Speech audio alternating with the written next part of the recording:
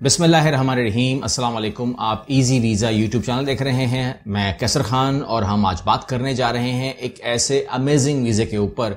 जब आप जानते हैं कि जब आप कोई हायर करता है तो एक मसला जो सबसे बड़ा जो लोगों ने मुझे बताया कि हमारे साथ वो आ रहा है और हमने जो फेस किया, जो आता है, वो आता है जब मामला लीगल हो जाता है। लीगल के मुराद ये है कि जब आपको वर्क वीज़ा के लिए प्रोसेस करवाना पड़ता है और आपका जो एम्प्लॉयर है, वो आपको प्रोसेस करके देता है। उसके अंदर उसकी लीगल टीम उसके अंदर उसकी भाग दौड़ उसके अंदर उसकी तमाम जो एनर्जी है, वो लगती है, जिसकी वजह से चिड़ के वो कहता है कि, यार, मैं नहीं बुला रहा किसी को, मैं देख लूँगा, कोई भी मुझे मिल जाएगा, तुमसे कमतर मिल जाएगा। थोड़ा सा बकवास मिल जाएगा, मगर मैं काम चला लूँगा। मगर बुलाने के लिए जो तकदो करनी पड़ती है, जान मारनी पड़ती है उनसे नहीं होगी। लेकिन ये कंट्री जो है, ये आपको एक ऐसी अपॉर्चुनिटी देती है कि आप उस हिस्से को अपने एम्प्लॉयर पे नहीं डालते। यानी कि उसको कुछ भी नहीं करना है सिवाय एक काम करने के, कि आपको वो हायर कर ले बस। और हायर से बात यह है कि एक कागज़ पे खुद ही लिख दे कि मैं आपको मैं आपको हायर कर रहा हूँ, ये मेरा ऑफ़र लेटर है प्रोसेसिंग सारी सारी आप खुद करेंगे। और यही बात आपने लिखनी है अपने कवर लेटर के अंदर कि आई नो नीड स्पॉन्सरशिप ठीक है ना? वो खुश हो जाएगा। आप उसको लिख के दें अपने सीवी के अंदर रिज्यूमे में, और आप अपने लिंक्डइन के अंदर भी डालें, ठीक है ना? लिंक्डइन के अंदर अगर आप प्रोफेशनल हैं, आप स्किल्ड वर्कर हैं, आप किसी भी काम में हैं तो आप अपने लिंक्डइन की जो प्रोफ़ाइल है, उसको तवज्जो दें, लोग तवज्जो नहीं देते क्यों तवज्जो नहीं देते? अगर आपने इंटरनेशनल काम करना है तो अपनी प्रोफ़ाइल को, वो वो समझने के लिए, पढ़ने के लिए, उनको आपको जांचने के लिए समझ, पूरा ओवरऑल आपकी जो एक टाइमलाइन चल रही होती है, वो लिंक्डइन से प्रूव होनी चाहिए कि आप वहाँ पर जाती भी हैं। आज जिस तरह फेसबुक पे आते हैं यूट्यूब पे आते हैं तो आप लिंकन पे जाएँ और वहाँ अपने आपको अपडेट करें, अपनी तस्वीर को लेकर के, तमाम चीज़ों को लेकर के, अपने जो भी आपने वहाँ पे एक्टिविटी लिखी है प्रीवियस पास्ट प्रेजेंट सारी की सारी चीज़ जो है उसको आपने क्लियर क्लियर लिखना है। हम बात कर रहे हैं आयरलैंड की, और आयरलैंड जो है वो बहुत बड़ा वीज़ा आपको देता है, और बहुत बड़े वीजे के साथ आपको वर्क वीज़ा देता है, और इसके अंदर ये ये कंट्री आपको गारंटी करती है कि अगर आप S C S E P के ज़रिए आते हैं, यानी कि सेल्फ स्पॉन्सरशिप के ज़रिए आते हैं तो फिर आपको दो साल का वर्क वीज़ा तो मिलेगा, लेकिन दो साल के बाद वो आपको इमिग्रेशन देने को फ़ौरन तैयार हैं। आप कहते हैं क्यों? तो मैं अगर आपको थोड़ा सा दिखाऊँ, क्योंकि पहले क्यों का जवाब आना चाहिए? ताकि आपको समझ में आ जाए क्यों हम कह रहे हैं। इसमें जब आप रिसर्च करेंगे तो आप पढ़ेंगे कि जो आयरिश एम्प्लॉयर जो expect recruitment challenges to continue in 2022 कहते हैं, हमारे सर पे क्या टूटी हुई है जॉब्स हैं अवेलेबल हैं, लेकिन हमारे पास रिक्रूटमेंट के लिए लोग अवेलेबल नहीं है। अब ये बड़ा झगड़ा होता है कि जब लोग अवेलेबल फॉर एग्ज़ाम्पल आप मान लीजिए कि उनके पास 150 जॉब्स हैं और पिछहत्तर लोग काम करने को तैयार हैं पचहत्तर लोग मार्केट में आते हैं जी, हम काम करने को तैयार हैं। तो मुझे बताएँ, चॉइस किसके पास है? आपके पास क्या चॉइस है? एम्प्लॉयर के पास क्या चॉइस है? वो तो बोलेगा, भाई, तू आ जा, ठीक है ना? अब इसके अंदर वो रेट भी बढ़ाएगा सैलरी भी बढ़ाएगा, मराद भी बढ़ाएगा, नखरी भी उसको उठाएगा और तमाम, और अगर वो छुट्टी उट्टी भी करता है, मसले मसाइल भी क्रिएट करता है तो भी बर्दाश्त करने पड़ेंगे, क्योंकि अगर उसको निकालता है तो आपके पास सेकेंड ऑप्शन तो है ही नहीं, और वो किसी और कंपनी में चला जाएगा, उसके पास सेकेंड ऑप्शन है। ब्लैकमेलिंग भी कर सकता है। तो यहाँ पर देख रहे हैं कि जो bosses branch out in battle for staff in Ireland labour shortage मुझे बताएँ, लड़ाई हो रही है। यानी कि लेबर्स के ऊपर कहते हैं कि बैटल हो रही है, लड़ाई हो रही है। किस बात के ऊपर? कि हमें लेबर शॉर्टेज है। There are loads of jobs vacancies in Ireland but where are the workers कितना सिंपल सा उन्होंने हेडिंग लिखी है द आयरिश टाइम के अंदर। द आयरिश टाइम कहता है कि काम का लोड बहुत ज़्यादा है। काम करने वाले कहाँ हैं? ये तमाम बातें जो हैं, आपको मैं दिखा रहा हूँ ताकि आपको समझ में आ जाए। अच्छा अब आप कहते हैं कि जी आपने जो बात की है सी सी एस ई पी की, उसके अंदर हम क्या समझेंगे, क्या होगा, कौन होगा? देखें, बात यह है कि आपको मैंने कह दिया कि आपका सीवी कवर लेटर और आपका लिंक्ड जो प्रोफ़ाइल है वो स्ट्रांग होनी चाहिए ताकि आप उनको बोलेंगे, जी we no need sponsorship just मैं, मुझे आप ऑफ़र लेटर लिख के दें अपने लेटर कंपनी लेटर हेड के ऊपर rest rest I will do और ये तमाम बातें जो है बड़ी स्ट्रांग हो जाती हैं। अब आप आ जाइए उस क्रिटिकल स्किल ऑक्यूपेशन लिस्ट के ऊपर कि जहाँ आपको आयरलैंड जो है, वो सपोर्ट करता है और आपको वो कहता है कि जी मुझे फॉरन लोग चाहिए। अब फॉरन के लिए मैं आपको एस ओ सी दिखाता हूँ। यहाँ पर आप देखिएगा प्रोडक्शन मैनेजर चाहिए आई सी टी प्रोफेशनल चाहिए हेल्थ एंड सोशल सर्विसेज़ में लोग चाहिए। इसमें न्यूट्रल एंड सोशल साइंसेज में लोग चाहिए इंजीनियरिंग में लोग चाहिए, इसके अलावा इंफॉर्मेशन टेक्नोलॉजी आईटी में लोग चाहिए टेलीकम्युनिकेशन में लोग चाहिए, इसके अलावा हेल्थ प्रोफेशनल्स चाहिए थ्रोपी प्रोफेशनल्स चाहिए नर्सिंग है मिडवाइफ है टीचिंग एजुकेशन के अंदर लोग चाहिए बिज़नेस रिसर्च में लोग चाहिए एडमिनिस्ट्रेटर प्रोफेशनल्स चाहिए आर्किटेक्ट चाहिए टाउन प्लानर्स चाहिए वेलफेयर प्रोफेशनल्स चाहिए क्वालिटी एंड रेगुलेटरी प्रोफेशनल्स चाहिए मीडिया प्रोफेशनल्स चाहिए हेल्थ एसोसिएट लोग चाहिए और इसके अलावा आप आगे चलते गए स्पोर्ट्स एंड फिटनेस में लोग चाहिए sales marketing related associated professionals चाहिए।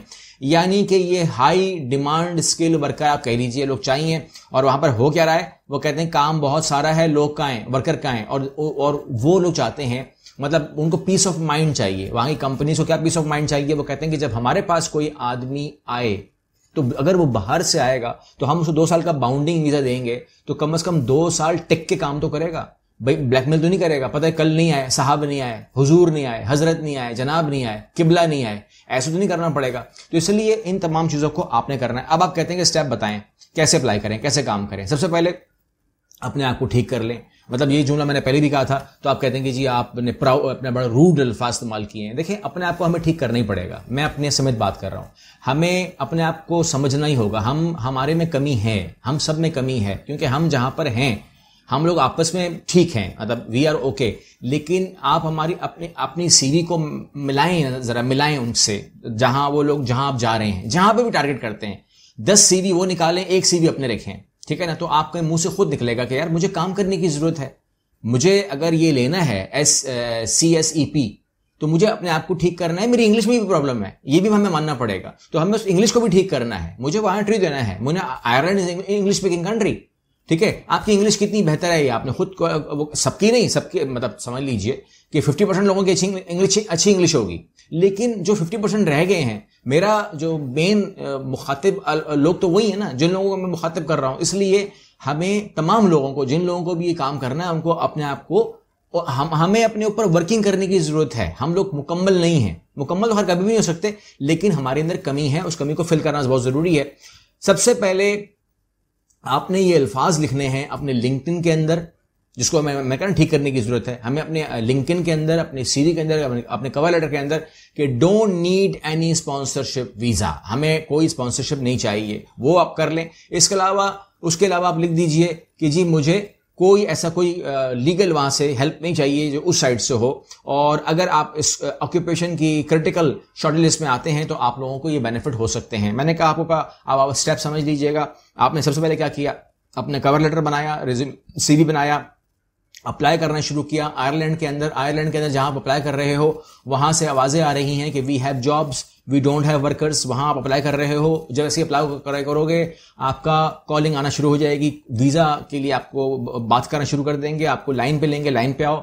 हमसे बात करो, बात करना शुरू कर देंगे। व्हाट्सएप पे इंटरव्यू हो, या स्काइप पे हो, या कोई भी और सिस्टम है जूम शूम पे हो जाएगा हो जाएगा आपका, ठीक है ना? उसके बाद आपको वो चीज़ पास करनी है। ठीक है ना? इसके अंदर रेशो ना पूछिएगा कि रेशो क्या है, क्योंकि मैंने आपसे कहा कि आपकी बात, अपनी बात कीजिएगा, ठीक है ना? दुनिया भर में अगर ज़बरदस्त किस्म के लोग हैं तो वो तो जाएँगे ना, लेकिन हम बात कर रहे हैं एक स्टैंडर्ड लोगों की एवरेज लोगों की। अब आपकी बात कर रहे हैं, अब मैं अपनी बात कर रहा हूँ कि हम लोग जो हैं, हमें जो हम मिडिल क्लास के लोग हैं, हमको क्या करना होता है कि अपने आप को इम्प्रूव करना ही होता है। जब आप जिस लेवल पे आप खड़े हैं आज मतलब आप मान लीजिए कि आपको जहाँ पर भी आप खड़े हैं तो आपको इंप्रूव करना ही पड़ेगा। आपको उसको ठीक करना ही पड़ेगा। अच्छा वो हो गया।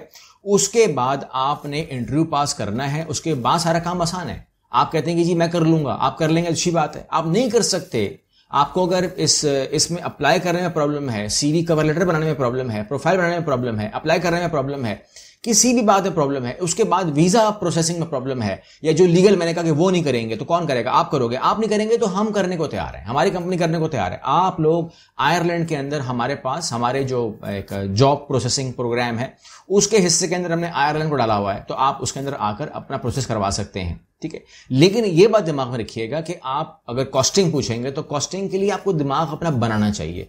अपने आप को मैक्सिमम पे लेके जाओ। यानी कि आप बोलेंगे यार मत उम्मीद रखें ना, क्योंकि हम लोग, मैंने कहा एवरेज लोग हैं तो मत उम्मीद रखें कि वो हमको वीआईपी प्रोटोकॉल देंगे। मान लीजिए कि टिकट आप खुद करोगे मेडिकल आप खुद करोगे इंश्योरेंस आप खुद करोगे वीज़ा की फ़ीस आप खुद पे करोगे अपना मेड अगर प्रोटेक्टर कराना पड़ा तो खुद कराओगे, जो कुछ भी होगा वो खुद करोगे, तमाम चीज़ें खुद करोगे तो आपके पास उसका खर्चा होना चाहिए। मतलब आप मान लीजिए, जो भी आपके पास पैसे हैं, अगर आपके पास फॉर एग्ज़ाम्पल अगर आपके पास दो लाख है, एक लाख है बजट तो नहीं करना अप्लाई अप्लाई नहीं करना चाहिए। बिकॉज़ एक दो लाख के अंदर टिकट भी नहीं आएगा। तो मतलब अप्लाई नहीं करना चाहिए। तो आपके पास तकरीबन छः आठ लाख, दस लाख रुपए अगर हो तो आप इस काम के अंदर हाथ डाल सकते हैं। क्योंकि अगर आदमी के पास एवरेज अमाउंट मौजूद हो तो उससे अगर थोड़ा बहुत ऊपर नीचे होता दैट इज़ गुड मतलब फॉर एग्ज़ाम्पल कोई बोलेगा, मेरा तो खर्चा ही पाँच लाख हो गया। आपने दस लाख कहा था। अच्छी बात है ना यार, पैसे बच गए। पैसे बचने में तो कोई कवाहत नहीं है। लेकिन अगर आप कहते हैं, मेरे पास तो आपने बता दी कि टिकट ही में फॉर एग्ज़ाम्पल मैं मिसाल दे रहा हूँ। आपने कहा कि टिकट तीन लाख रुपए का पड़ गया, पड़ रहा है, या आपने खुद चेक कर लिया, तीन लाख का आ रहा है। आपने कहा, मेरे पास तो है ही एक लाख रुपए तो मैं ये प्रोग्राम पर छोड़ देता हूँ। आप सोचिए कि कितना आसान है ये बोलना कि ये मैं प्रोग्राम छोड़ देता हूँ तो जो आपने मेहनत की उसका क्या होगा? और क्या ये प्रोग्राम इतना इजीली अवेलेबल है? और क्या लोग आयरलैंड जाने के लिए जो है कितने पैसे खर्च करते हैं, या कितने लोगों को पैसे दे रहे होते हैं? काम उनका भी नहीं होता, खैर भाई आपस की बात है। लेकिन फिर भी खर्च तो कर रहे होते हैं ना। वो कहते नहीं, आप लोग कहते हो ने लूट लिया, लेके भाग गया। कल मैंने खबर देखी है कि एक जो ट्रेवल एजेंट है, जो ट्रेवल एजेंट नहीं था, वो मतलब वो ट्रेवल एजेंसी में बैठा हुआ एक एम्प्लॉय एम्प्लॉय होता है, वो टिकट के पैसे लेके भाग गया। तो हर किस्म के लोग हैं। अब आप, अब टिकट के पैसे दो तो वो अगर वो भाग जाए, क्या कर लेंगे आप? किसी के पास अपने एतमाद भी गए होंगे ना। लेकिन यहाँ भी हो जाता है। तो इसलिए कोई वो नहीं है। लेकिन इसके अंदर ये है कि आपको मैक्सिमम अपने आप को इन रखना पड़ता है। और इन रखने के लिए आपको इन तमाम चीज़ें जो डॉक्यूमेंट भेजी जाएँगे, जो कुछ भी होगा, अपने आप को आप इन जितना आप ज़्यादा अंदर रखोगे प्रोग्राम के अंदर, उतना आपके साथ धोखा होने की गुंजाइश कम होती है। अगर आप कंसल्टेंट को बोलोगे, ये पकड़ो पाँच लाख रुपए, तुम जानो हमारा काम जाने तो उसके बाद फिर उसका पता नहीं होता कि वो आपको मिलेगा, नहीं मिलेगा, फिर वो नहीं मिलेगा, फिर नहीं मिलता। ये तमाम चीज़ें होती हैं। तमाम चीज़ें आपने खुद देखनी है, समझनी है और इस प्रोग्राम के अंदर अपने आप को रखना है और वीडियो मुझे मालूम है, थोड़ी लंबी हो जाती है, मगर ये आप लोगों के लिए होती है। मैं भी टाइम निकालता हूँ। टाइम थोड़ा थोड़ा आप ज़्यादा टाइम आपका कीमती है, थोड़ा सा टाइम हमारे भी कीमती है। तो अपने काम करने होते हैं, लेकिन यहाँ पर आके जो इन्फॉर्मेशन मुझे मिलती है, मेरी कोशिश होती है कि आप लोगों को भी वो मालूम आपसे शेयर कर ली जाए। अगर दस हज़ार लोग वीडियो देख रहे हैं, बीस हज़ार लोग देख रहे हैं, ज़्यादा लोग देखते हैं वैसे आपस की बात है, अगर पचास हज़ार लोग वीडियो देख रहे हैं, पचास हज़ार में से अगर पाँच का भी काम हो जाता है तो हमारा टारगेट पूरा हो गया। उन पाँच लोगों की जो कामयाबी है, हमें उससे भी फ़ायदा ही है। हमें हमें फ़ायदा है, क्योंकि अगर काम किसी का हो रहा है तो दैट इज़ वेरी गुड काम होना चाहिए। अगली वीडियो मिलते हैं लाभ